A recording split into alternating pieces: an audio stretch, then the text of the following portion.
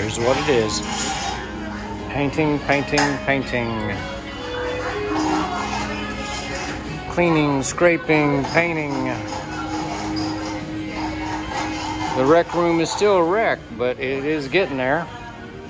How's that for pretty blue? And that's what it was before. Look at that. Going to town on it. Looking good. We're going to get there, guys. We also were able to work on the hot water, so now we can actually have hot showers. So that's a good thing. I wish I was that tall. so we've had several different projects ongoing today. Like I said, we've got the hot water working a little bit better, so not sort of hot water showers, but real hot water showers. Winds are blowing like crazy outside. We're about 30, 35 mile an hour.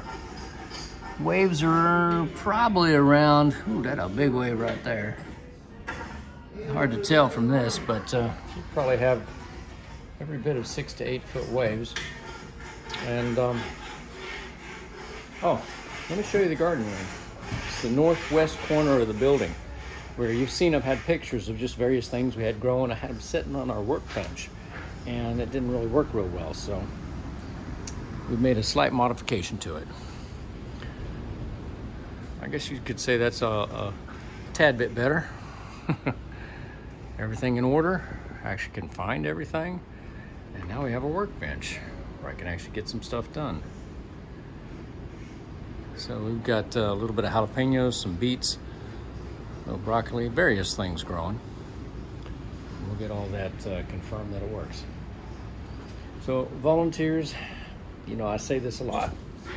If you come out and you spend some time out here, you take home the experience and the knowledge that you're making a difference for the next generation. Because it's truly the next generation that's really going to get the benefit here because they're going to get to come out kids from uh, local colleges can do research and uh, people can get educated over the internet about what's below us and what's above us. Anyway, I might be uh, preaching to the choir here, but uh, the bottom line here is that it's an unusual location. Just outside of America, in the middle of the Atlantic, off the coast of North Carolina, and anything we can do to save it I just think that pays it forward. Anyway, that's the goal. Meanwhile, busy day, I didn't even shave. But at least I can take a hot shower because we fixed that.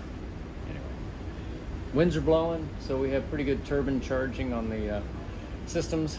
And uh, see you in the morning. Take care. Oh, baby jalapenos, yeah.